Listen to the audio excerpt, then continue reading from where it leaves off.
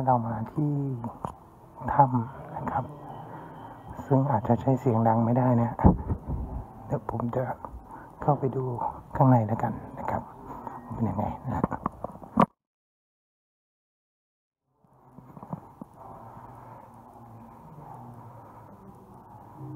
จะเลื่อนนิดนึงนะต้องบอกว่า มันมีน้ำไรมานะครับ